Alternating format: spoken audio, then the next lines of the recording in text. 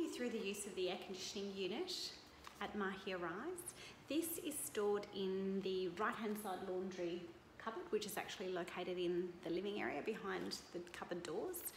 This remote comes out and by default we've got it set up for you so all you need to do is really push and point and shoot just point it at the unit and hit the on off button now it's by default set from automatic 24 degrees on auto that's really all you need to know uh, to change the mode, if you have a particular setting you'd like to use, you just hit the mode button here on the left-hand side. That's going to go from automatic to warm. The sun, the sun is going to show you heating, um, fan, or their auto. There's also an icicle for cooling.